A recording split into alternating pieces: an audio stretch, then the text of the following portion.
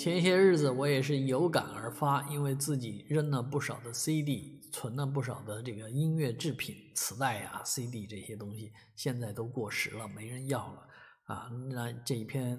讲述了这个复旦一位教授离世啊，剩下的书被这个呃清掉、被卖掉的这个事情啊，这个有一些描述不准确，这也是道听途说。啊，那在这里呢，要道个歉啊，因为呃，这个旧书堆成小山，在网络引发猜测和关注的事情呢，啊，这个有网友是这样说的：说书的主人是复旦大学一位教授，于日前去世啊，被当作废品卖掉啊，当然引起我的唏嘘了。但事实是。啊，这个照片拍摄于淮海中路上的培文公寓，而培文公寓的底层就是啊著名的上海妇女用品商店啊，这个地方我也是经常走的地方啊。每以前上班的时候吃过午饭，都会到这儿兜兜转转啊。事实呃，复旦大学的这个新闻办工作人员啊向媒体透露，上述教授并非复旦大学的教职工。而记者呢，也于近日实地拜访了这个书藏书主人的家属，而这里面呢，是以一个非常非常有书香气，也带着历史感的故事。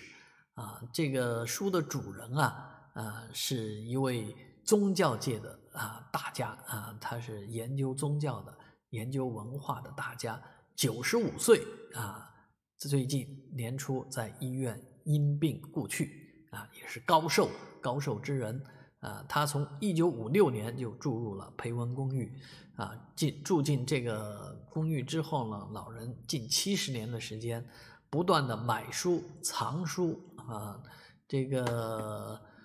父亲的书拢共大概有十个立方米，书商称大约在万本左右啊，数万本书，三房两厅的老房子，以前有一厅。一一室一厅，有一半的空地上落着过人高的书堆啊！这简直是，这房子里面堆的都是书啊！这在寸土寸金的上海，你可以看出啊这些书的重要性。当然，现在书要清掉，也证明一点啊，现在书的价值啊，跟这个房产的价值相去太远。当然，很多人说这个老人家的这些书里面。呃，他有他的这个乐趣在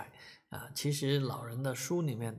最多的啊，目前家属也觉得重要的是《新华月报》啊那种文摘类的这种杂志啊，这些东西他是存的非常整齐啊。《新华月报》的所有东西他都存下来了，所以他自己也叮嘱儿女说，大部分没有很高的收藏或研究价值。啊，可以找个整理之后呢，找个合适的渠道处理。但是那些《新华月报》都是宝，一定要重视，要好好处理。所以呢，家属呢也是认真对待这件事情，将这个这其他的书啊找也是找了一个书商旧书商处理掉的。而《新华月报》呢还留留着啊，因为从一九四九年十一月创刊到一九七九年改版，分文献版和文摘版，每一期他都在家里留存一份啊。这些横跨三十多年的《新华月报》，至今还成捆包着啊，放在公寓的储物间里面啊。当然，他的子女其实也本身年近七十的。儿媳妇啊，本身退休前就是在教育学院做资料管理工作的，非常有经验。他们对书籍进行过整理，而自己的书呢处理掉也是非常艰难。啊，家里的书山群是通过两辆小推车一趟一趟被移到单元楼的门口啊，形成一座小山。啊，到八点晚上八点过后，一辆载重八吨的大货车开进来，将书山彻底移出这栋百年公寓。哇，这个。书确实是非常之多啊！儿女们听说有人误误会啊，误以为他们将父亲的藏书当垃圾废品卖掉，有些紧张啊、慌张和不忿。他们说：“我们都知道老爷子喜欢书，肯定是尊重他，尽全力对他好。他留下来这些书都很珍贵，我们不可能说当成垃圾卖给收废品的，这样太糟蹋了，也对不起老爷子。”这是一定不会乱来的